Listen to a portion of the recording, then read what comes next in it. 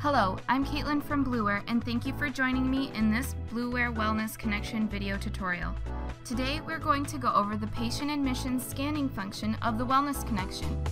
Patient admission scanning is designed to help you import patient admissions documents like driver's licenses, insurance cards, and consent forms into the system at the point of patient registration. Let's get started. Accessing the Wellness Connection has always been very easy with a shortcut available to you from your workstation's desktop. Just double click on the icon that links to the Wellness Connection patient admission scanning, and you will be presented with a prompt for a username and password. This prompt is what allows you to log into the Wellness Connection. So just type in your username and password that you've been provided, and then you will be presented with the front page of patient admission scanning.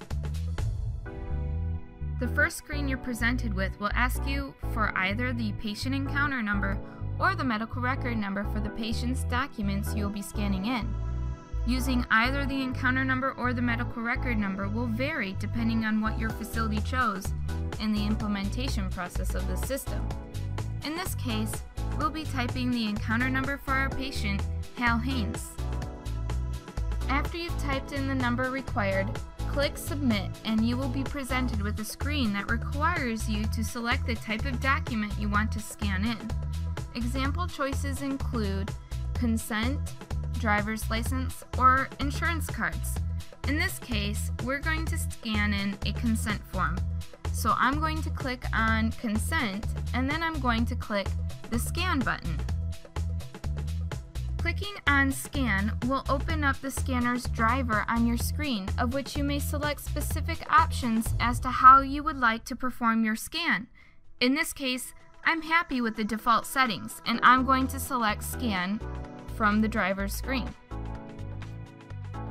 This will activate the desktop scanner at your workstation, and you will see the document physically move through the scanner. Once the document has gone through the scanner, the scanning screen will refresh and you will be able to select a second document to scan in. Now I'm going to scan in a driver's license. Using the same method as before, I'm going to click on driver's license and then click the scan button on the screen. This will prompt the scanner driver to pop up and again I will click scan. Once the second document has made it through the scanner, I am still able to scan a third document However, I have no more documents to scan in. In this case, I'm going to click on the Finish button as I am finished scanning. Once I've clicked Finish, I'll be presented with a new screen that has thumbnail versions of the documents I've scanned in. As I've only scanned in two in this demonstration, I will only see the two documents that I've scanned.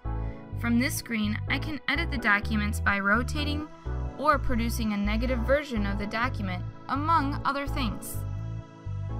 On the right-hand side of each document is a document number and a checkbox.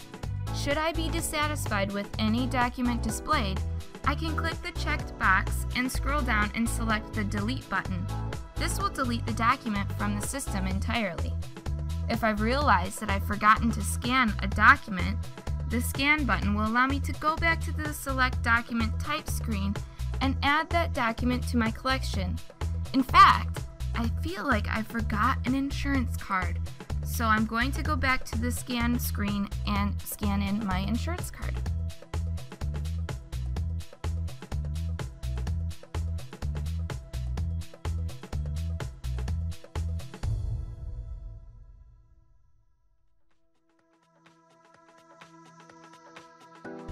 Now that I have all of my documents and I'm satisfied with the quality of the scans, I can select the next step from the collection of buttons below the thumbnails. If I am for whatever reason completely dissatisfied to everything up until this point, clicking on the cancel button will delete the entire transaction from this point and will enable me to start from the beginning, starting from entering in the encounter number. In this case, I am satisfied with my three documents. Once I've completed scanning and verifying the documents and their quality, I am presented with the matches to the encounter number I typed in previously. This time, there was only one match, but this might not always be the case. If you do not see the correct encounter or medical record number you're looking for, you are able to perform a custom search at the bottom of the screen to find the encounter or medical record number to apply the scans to. Luckily for me, I am satisfied with the encounter number in patient on the screen listed, so I'll check the box accordingly and click on the Submit button above. Once I've clicked on the Submit button, a prompt appears and says, Process completed, files uploaded successfully. Once I've accepted the prompt by clicking the OK button, I will go back to the initial patient admission scanning screen asking for the encounter number for the next patient to be admitted. The process is as simple as that. Now I'm going to exit out of the admission scanning application and log in as a clinician user to see if the documents I've just scanned are in there.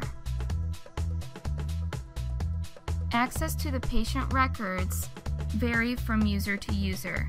As I am about to sign in as a clinician user, the screens that you may see next may or may not be available to you in your own user profile. After about 4 to 6 minutes, the documents will be available within the Wellness Connection. Back on the desktop of the workstation, I'm going to click on a shortcut labeled Wellness Connection. After logging into Wellness Connection, I'm going to use a secret shortcut to look at the documents within the encounter I specified during the scanning process. In the Encounter ID field, I'm going to type my encounter number and then use my mouse to click on the lightning bolt next to it. This will take me directly to the document display screen of the encounter I typed in, and there I will be able to see the documents that I've scanned. On the left-hand side of the document display screen, I can see the patient and the encounter I've selected, and below I can see all of the tabs and documents associated with the entire encounter. Under the Admissions tab, I will see the documents I've scanned with the date and time reflecting the time in which the scanned documents were added to the system. Happy with everything that has transpired up until this point, I log out of Wellness Connection and continue my day at the patient admissions desk.